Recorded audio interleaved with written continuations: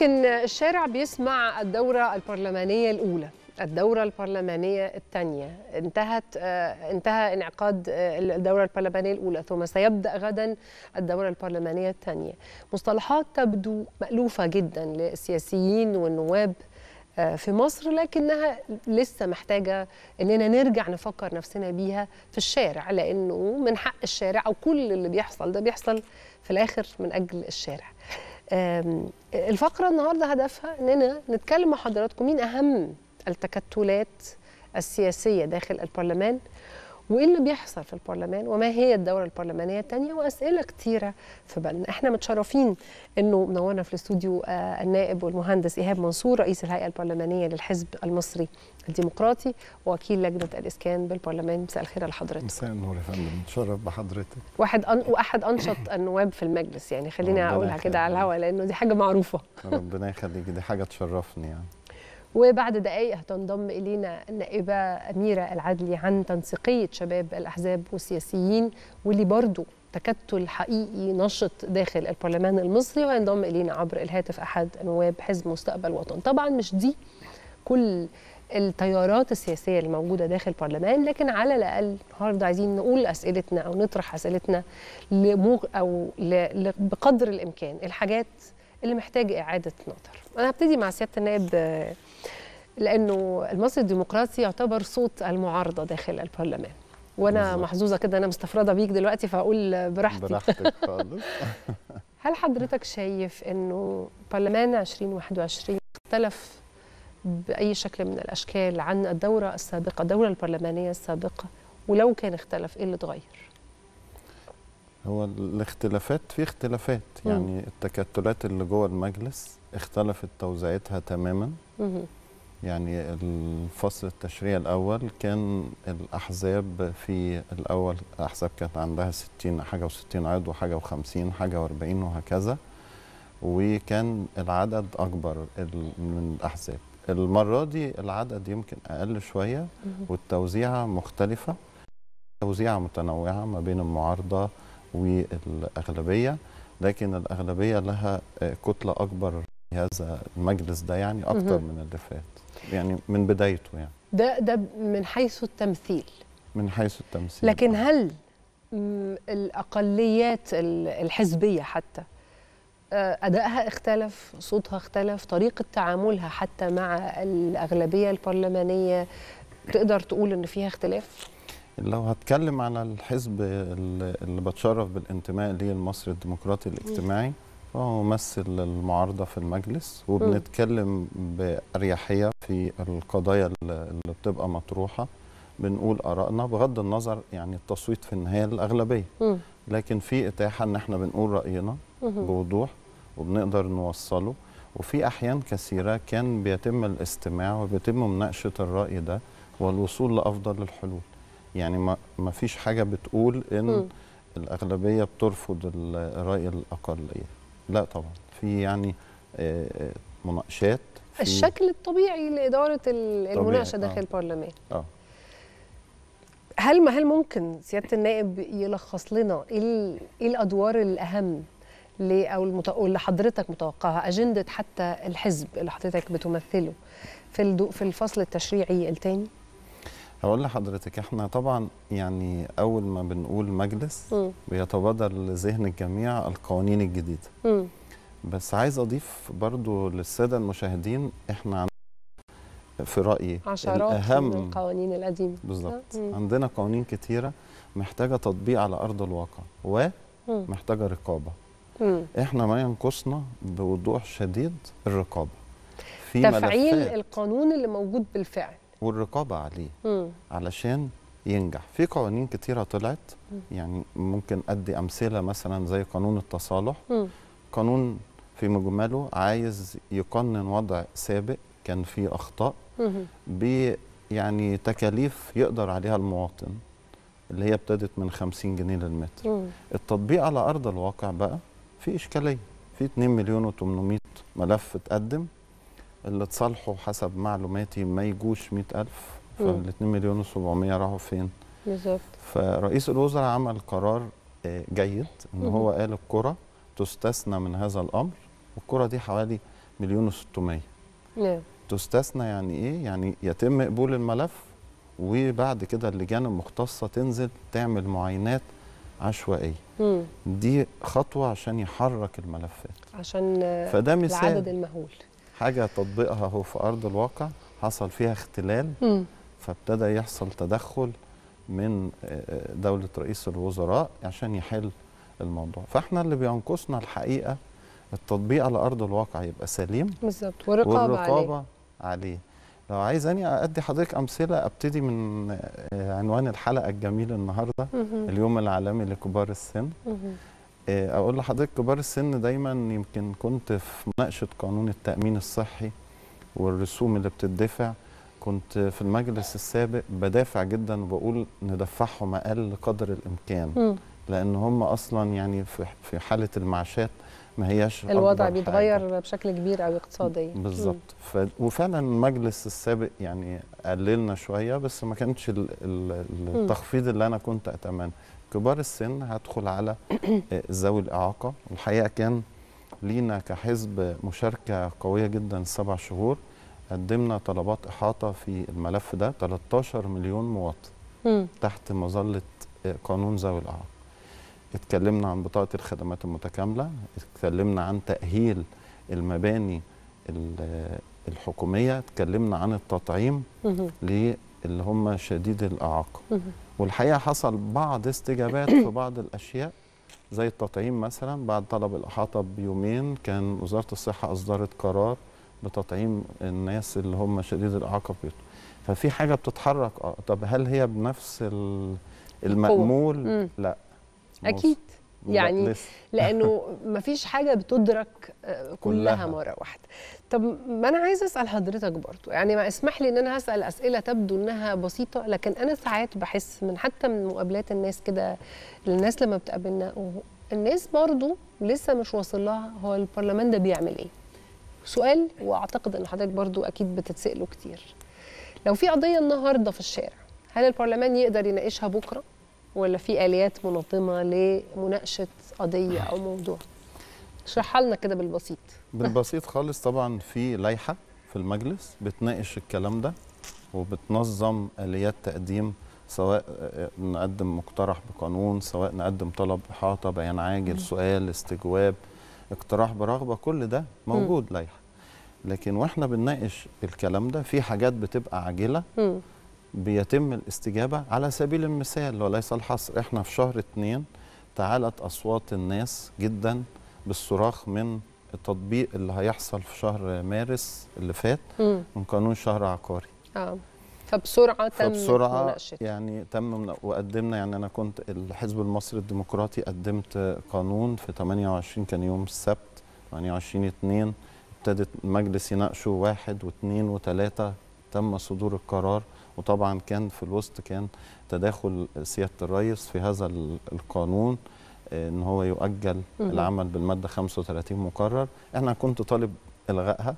هي أجلت بس يعني في. النهاية في استجابة جزئية أو استجابة ما. جيدة بتحصل. اذا يعني بحسب كلام سيادة النائب إنه برضو عشان الناس تبقى متوقعة من المجلس المجلس عنده أجندة تشريعية طويلة لكن عنده أدوات زي أي النواب السادة النواب عندهم أدوات رقابية للأمور العاجلة. فعشان بس ما يبقاش المجلس بيغضب لو النهارده في قضية مش من الطبيعي إن المجلس بكرة يقابلها يناقشها في في الجلسة. إحنا كمان من ضمن زي ما قلنا كده في بداية الحلقة كان نفسنا إن النهارده يكون معانا ممثلي كل ال- التكتلات السياسية داخل البرلمان وطبعا كان نفسنا نتشرف بأحد أعضاء حزب مستقبل وطن. حاولنا التواصل لكن ما ما توفقناش إنه حد من الأعضاء يكون موجود يمكن ظروفهم ما سمحتش. لكن إحنا بنشكر النائبة آه، إيناس عبد الحليم اللي موجودة معانا على التليفون. مساء الخير على حضرتك.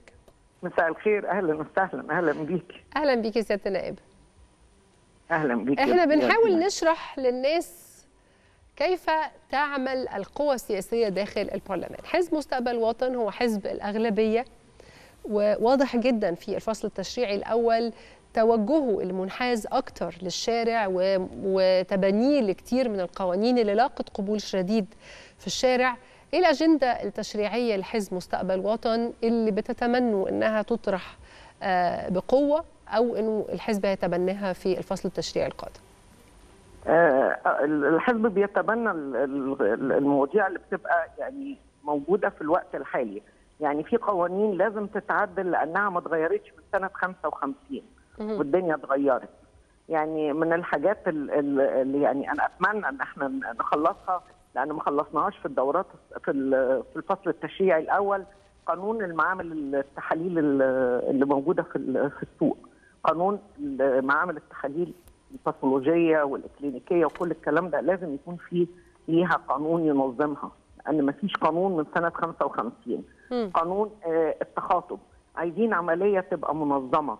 مش كل واحد زي ما انت شايفة بيفتحوا عيادات لا هم دكاترة ولا هم متخصصين وبيشتغلوا ومراكز والناس بتروح لها وبيحصل منها مشاكل. كل ده لازم يتظبط بقوانين.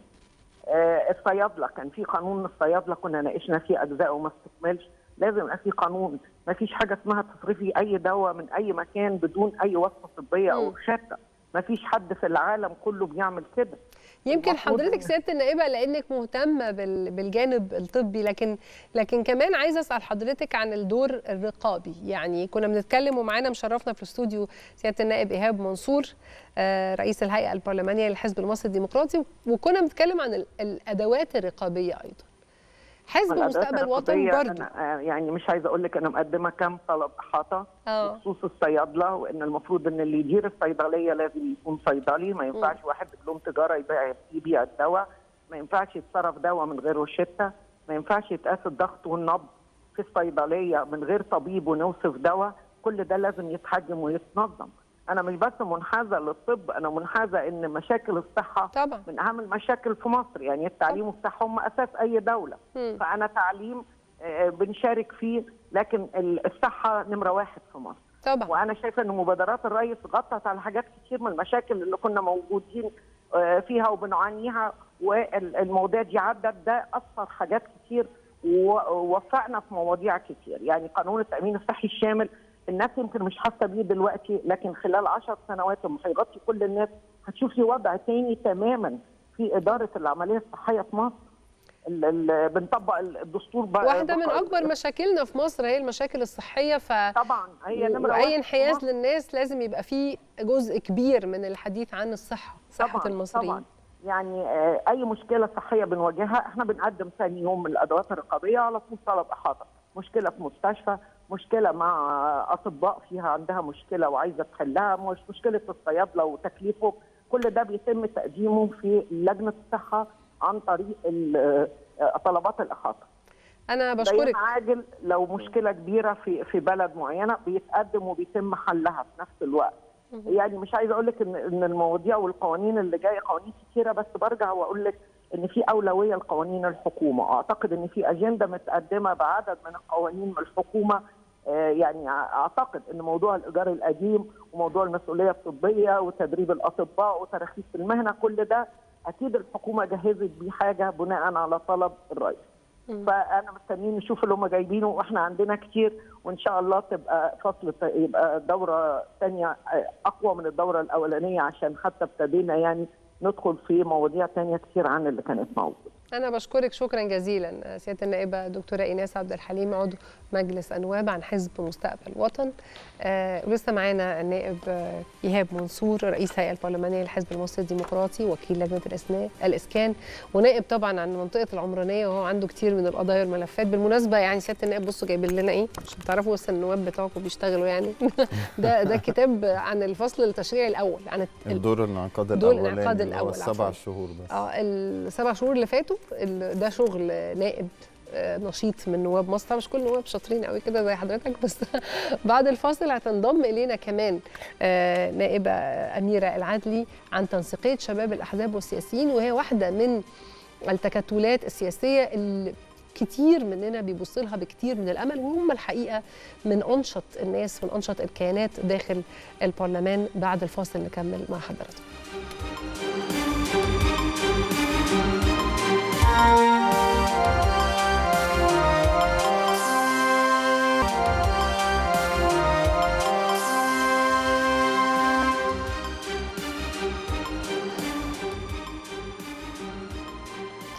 مرة تانية أهلا بحضراتكم. آه بنكمل فقرتنا وإحنا بنسأل أسئلة الشارع عن ماذا يحدث داخل البرلمان كيف يدار البرلمان. العناوين اللي بنسمعها كل يوم في الأخبار محتاجين بس نفك اشتباك ونعرف آه يعني معناها. من ضمن العناوين دي هتلاقي كده دايما إنه أخبار عن تنسيقية شباب الأحزاب والسياسيين عن ممثلين تنسيقية شباب الأحزاب والسياسيين. هنشوف وشوش جديدة أو شفناها على مدار كمان الفصل التشريعي الثاني أو دور الانعقاد الأول في الفصل التشريعي الثاني. ودول ناس شباب زي الورد محتاجين نعرف مين هم. النهارده مشرفنا ممثلة عنهم سيادة النائبة أميرة العدلي عضو البرلمان عن تنسيقية شباب الأحزاب والسياسيين منورانا منورك آه خليني أسألك على طول آه سيادة النائبة عن تنسيقية شباب الأحزاب والسياسيين. بعض الناس تعتقد أو فاهمة إنه شباب الأحزاب دول آه دول حزب جديد اللي هو بيضم الشباب من هم أصغر من 45 سنة. ده صحيح؟ لا طبعا. آه. يعني الاسم حتى واضح. تنسيقية شباب الأحزاب والسياسيين. يعني فيها شباب أحزاب. شباب أحزاب إحنا عندنا أكتر من 25 حزب سياسي موجود فيهم شباب 25 حزب سياسي ممثلين موجود فيهم شباب سياسي مستقل. جزء منه كان بيمارس العمل السياسي قبل كده وكان في أحزاب وما بقاش موجود في الأحزاب دي وجزء تاني من الشباب دي لسه ما حددتش هي محتاجة تدخل أحزاب أحزاب إيه من الموجوده على الساحة. بس فعليا التنسيقية هي مظلة بتجمع مجموعة كبيرة من التيارات الفكرية والأيديولوجيات. ليه ليه ليه ليه ليه موجود تنسيقيه شباب الأحزاب والسياسيين؟ وده سؤال طول الوقت إحنا بنتساله. آه تجاربنا الشبابية من 2011 آه بما إني بقى يعني موجودة من يناير آه ائتلاف شباب الثورة اتحاد شباب الثورة كل التجمعات اللي حاولت يبقى موجود فيها عدد من الشباب أغلبها فشل. ما قدرتش يتحقق حاجة ويمكن الظرف الزمني نفسه هو اللي حكم عليها بالفشل. إحنا في 2016 كان عندنا أول محاولة. حاولنا إن إحنا نجمع وقتها أنا كنت حزبية.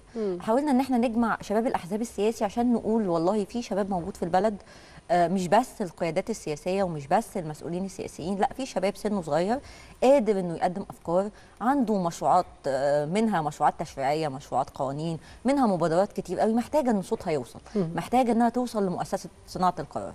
في 2016 مع وجود عامل شباب والمؤتمر الوطني الأول حاولنا أول محاولة لكن ما قدرناش نكمل لظروف ما. جينا في 2018 كان عندنا بقى آه الإصرار والعزيمة إن إحنا نتخطى كل العقبات اللي فاتت وتشكلت يمكن اتشكلت فكرة التمكين السياسي للشباب بشكل أكثر نضوجا. بصي هي الشرارة جت من وقت الرئيس ما أعلن في الولاية الثانية إنه في أولوية لتنمية الحياة السياسية. آه الشباب السياسي ساعتها الواعي بقى اللي بيقدر إنه يقرأ ما بين السطور وبيقدر يقرأ الخطابات لما بتتقال. حسينا وقتها إنه لأ في مكان لينا. آه في الدولة بتتجه حقيقي لتمكين الشباب. شباب الأحزاب لازم يكون له دور لازم صوته يوصل. آه حاولنا واجتمعنا ووصلنا في الآخر لفكرة التنسيقيه كان صعب جدا. كل الناس كانت بتقول لنا أنتوا إزاي في ناس من اليسار والليبراليين ومعارضة ومؤيدين؟ وازاي بتجتمعوا يعني إزاي بتجتمعوا على فكر واحد دي كمان حاجة أعتقد لا وكل يعني كل الأحداث في مصر بقى منها التحالفات السياسية نفسها كانت بتقول الناس لما بتقعد على ترابيزة واحدة وهم مختلفين بيتخانقوا على الفصله وعلى الكلمة مم. مش بيتفقوا على مشروع قانون. إحنا بنقدر نطلع مبادرات بنقدر نطلع ورق بنقدر نطلع أفكار بنقدر نعمل مشروع كامل مع بعض وإحنا مختلفين. يعني ومختلفين في الأفكار ومختلفين في الشخصيات ومختلفين في الرؤى ومختلفين ما بين مؤيد وما بين معارض. م. يعني حتى صناعة القرار نفسه أو الفكر الإصلاحي نفسه أحيانا إحنا بنختلف. م. بس في في الآخر خط انت حطاه. اسمه آه إحنا عندنا مشروع. إحنا عايزين نصلح. وده الفرق ما بين اللي بيعارض اللي بيعارض وعايز يصلح واللي عايز يتكلم بس. اللي عايز يصلح بيلاقي خمسين ألف نقطة ممكن يوصل لها عشان ننتقل لقدام ونطلع. خطوة لقدام. آه يمكن بكلام يعني أستاذة أميرة عن التنسيقية. النهارده تبدو الترابيزة إن هي كده بتمثل تنسيقية شباب الأحزاب بكل ما فيهم من حماس وانتوا يعني أول ما امير اتكلمت حسيت الحماس رجع لنا كده. لكن وكمان معانا مهندس إيهاب ممثلا عن الحزب المصري الديمقراطي وهو حزب أحزاب المعارضه تاني كان حاضر في المشهد وكان مدعو جدا للحلقة النهارده الأحزاب أو حزب الأغلبية مستقبل الوطن. لكن هي فرصة مهمة وجود حضرتك ووجود سيادة النائبة أميرة إن إحنا نقول للناس آه، كيف تدار هذه التكتلات. إذا إذا يعني تنسيقية شباب الأحزاب مجموعة منظمة جدا أقدر أشهد وكل اللي بيتعامل مع تنسيقية شباب يشهد إنها منظمة شديدة التنظيم رغم إنها شديدة ال ال الاختلاف داخليا. هل كمان الأحزاب وبالذات اللي لم توفق في أغلبية برلمانية بسبب ايا كان الأسباب بقى لم نوفق في أعداد كبيرة تبقى بتمثل المعارضة. المعارضة بشكل عام مش بس المصري الديمقراطي قد إيه في المجلس؟ يعني بصي حضرتك هو سؤال صعب. ليه؟ لا خالص هقول خالص لحضرتك لأن إحنا آه قد تكون المعارضة آه 70 واحد في مم. قضية من القضايا. آه. يعني أنا مثلا في آه، الموازنة مثلا كنا آه، حوالي على ما أذكر أربع أحزاب رفضت. مم. طيب. إحنا منهم طبعا. طيب. إحنا في أوقات تانية كان ممكن يبقى حزبين ثلاثة لأنه بس. مش كل القوانين المعارضة ليست معارضة من أجل المعارضة. آه طبعا. يعني بيبقى لينا بحسب الموضوع. لينا يعني تحفظات على بنود معينة وقلناها في كلامنا في المجلس بوضوح. إن اتصلحت هذه التحفظات أكيد مش هنبقى بنعارض بنعارض هذه ال- الأرقام والإحصائيات سواء في التعليم والصحة وخلافه. في تعاون داخل المجلس آه طبعا إحنا نواب كلنا زملاء مع بعض مم. باختلاف توجهاتنا حزب سواء مستقبل وطن أو مصر الديمقراطي أو التنسيقية إحنا بنتكلم مع بعض في القضايا بن- بنقعد نناقشها في اللجان سوا. في بيبقى تنسيق على على قدر ال- المستطاع في بعض القضايا وحتى لو في قضايا ما حصلش فيها التنسيق على أعلى مستوى. أعلى مستوى يبقى كلنا اتفقنا زي مثلا قانون الشهر عقاري. مم. إحنا كلنا اتفقنا على الختام والختام. الختام. والتحرش. مثلا كان في قضايا كتير قوي عليها إجماع كلنا من الكل. توافقنا كلنا. آه، وقلنا رأينا وكان الرأي شبه إجماع على هذه القضايا. فالعدد ممكن نبقى في قضايا 20 30 ممكن نبقى في قضايا 70 80 فالعدد حسب القضية اللي بتتناقش إيه ده بيبقى العدد بتاع لو قلنا المعارضة قد إيه يعني. حلو قوي. يعني ما نقدرش نقول انه الشكل القديم بتاع انه تكتلات المعارضة المعطلة مش موجودة دلوقتي. يعني في, في الوضع ال- الجديد أو في التنسيق الجديد مجلس فيش معارضة معطلة لإصدار قوانين لكن في تنسيق بحسب الموضوع. آه وكمان إحنا كمان يعني يعني لما بنقول أي مقترح لينا أو أي اعتراض لينا على بنود في قانون لا إحنا كمان بنقدم مقترحات حلول. يعني. دايما أروح حتى في طلبات الإحاطة اللي بعملها بروح مجهز طلب الإحاطة طلبات إيه وكم مقترح كده اتفضلوا. عايزين نشوف حاجة منهم. وأحيان كتيرة بيتاخد ال- المقترحات دي. والجهات بتحاول تنفذها وعندي نماذج كتيرة يعني من. يعني في الكتاب في بعض الاستجابات اللي شفت حصلت الكتاب ده يعني. شفت الكتاب ده بقول له يعني مش ممكن أتعقد بقية النواب كده بص ده كتاب. دول لا، الانعقاد الأول لا إحنا عندنا في دول الانعقاد الأول عندنا أداء ممكن نعمل منه؟ ثلاث كتب آه. أيوه ما ابتدي المنافسة دلوقتي المنافسة الإيجابية أنا بشوف كمان إنه في حالة من الحماس أنا شخصيا يمكن ما شفتهاش قبل كده في إنه في تنافس تنافس حقيقي لخدمة الناس. تاني لازم نوضح حاجة للناس قبل ما أسأل آه، الجميلة أميرة عن إنه البرلمان مش دوره خدمي هو دوره إنه يراقب على تأدية الحكومة إزاي بتقدم الخدمات للناس. لكن في أداء خدمي عظيم جدا. ممكن تكلمينا عن تنسيقية شباب الأحزاب؟ إيه أولوياتها في في دور الانعقاد الثاني في المجلس؟ إيه الموضوع المواضيع اللي أنتوا اتفقتوا عليها برغم الاختلافات الكتير اللي اتكلمتينا عنها؟ طيب أنا عايزة بس أعلق على حاجة قالها زميلي يعني والمصري الديمقراطي هو عضو في التنسيقية كمان. طبعا. آه آه، فكرة هو المعارضة ما بتتقاسي هي 20 ولا 30 ولا 70 شخص جوه البرلمان. لأن الحقيقة إنه كل من هو ليس حزب الأغلبية فهو معارض. وإحنا عندنا عدد كبير من الأحزاب ما هياش في حزب الأغلبية. ده حقيقي. القضية هي اللي بتفرض نفسها في فكرة ال- التأييد أو المعارضة. ما هو هي مش معارضة من باب المعارضة آه، وخلاص. لأنه في أوقات كان حزب الأغلبية حزب مستقبل نفسه الوطن كان بياخد موقف واخده قوانين. يسار آه. المنصة بالكامل. بالظبط. آه، في أحيانا بيبقى من من أعضاء حزب الأغلبية واخدين موقف من اللي واخدينه يسار المنصة واللي واخداه الأحزاب المعارضة أو الأحزاب آه، اليسارية جوه جوه البرلمان. فهي القضية هي اللي بتحكم هنا والقانون اللي متقدم والتعديلات اللي مطروحه انت موقفك فيها عامل إزاي؟ آه نرجع بقى للتنسيقية. إحنا عندنا أجندتنا التشريعية طبعا لكل نائب إحنا 32 إحنا متنوعين فكريا لكل نائب فينا عنده الأجندة الخاصة بيه لكن في قضايا عامة يعني مثلا لما هنيجي نتكلم عن آه، المحليات آه، مفيش أعتقد مش بس نواب التنسيقية مفيش, مفيش نائب. في البرلمان.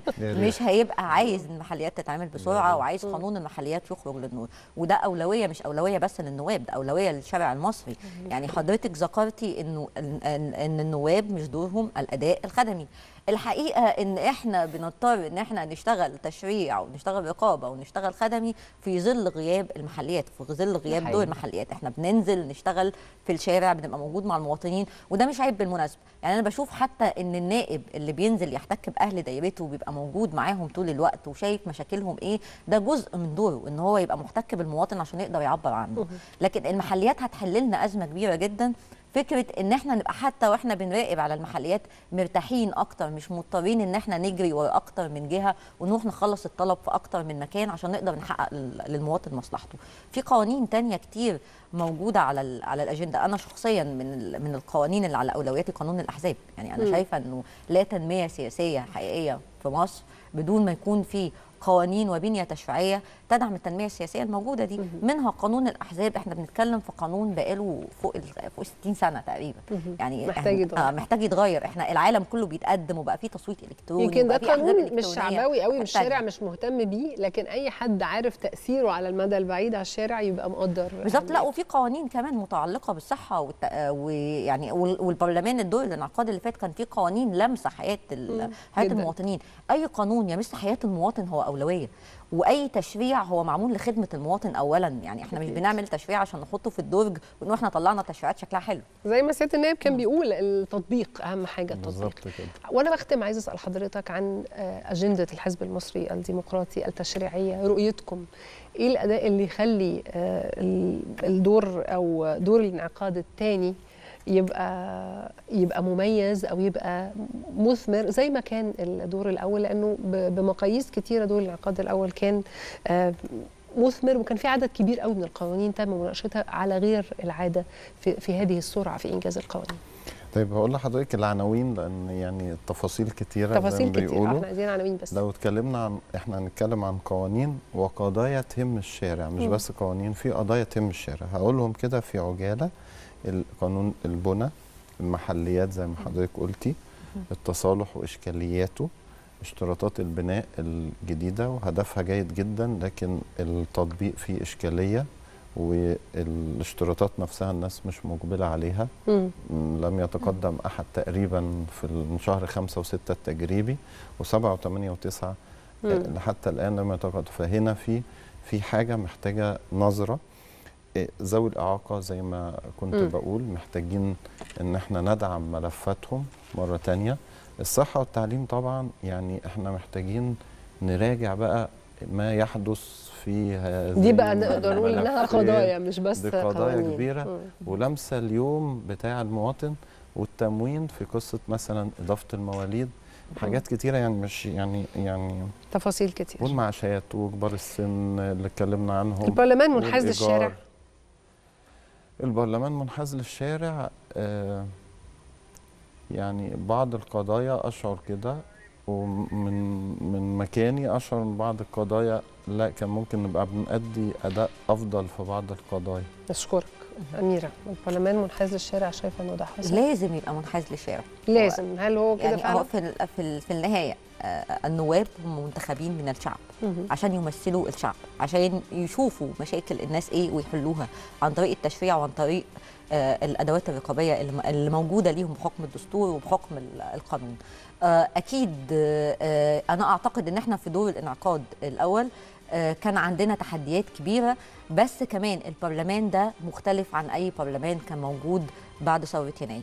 البرلمان ده منحاز للمواطن البرلمان ده إحنا شفنا في مناقشات كتير في البيانات اللي ادلى بيها الوزراء انحياز ال- النواب حقيقي. للمواطن. آه الديبيت اللي كان بيحصل ما بين النواب في مناقشة البيان بتاع الصحة في مناقشة البيان بتاع التموين في مناقشة البيان بتاع آه الاستثمار.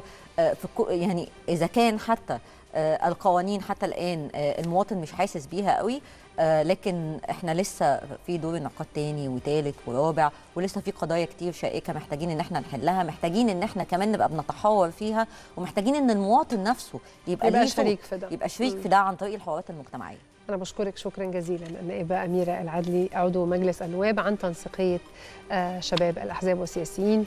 وكرر شكري كمان لسيادة النائب المهندس إيهاب منصور عضو مجلس النواب ورئيس الهيئة البرلمانية للحزب المصري الديمقراطي ووكيل لجنة الإسكان بمجلس النواب بالمناسبة في انتخابات تانية واللجان بتتغير ورؤساء والوكلاء وكل آه، ترتيب بيتغير في كل دور انعقاد. أنا بشكركم. شكرا جزيلا. إنكم شرفتونا النهارده. يمكن وجودكم بيقول رسالة غير الكلام الكتير الحلو اللي قلتوه اللي كله انحياز للناس إنه حتى نواب وممثلي الشعب شبه الناس حقيقيين بيتكلموا من قلبهم القضايا تهمهم زي ما هي بتهم الناس ودي أعتقد واحدة من الرسائل اللي بيرسلها الأشخاص بمن هم. آه، دي كانت حلقتنا النهارده من التاسعة. أشوفكم إن شاء الله على كل خير. Música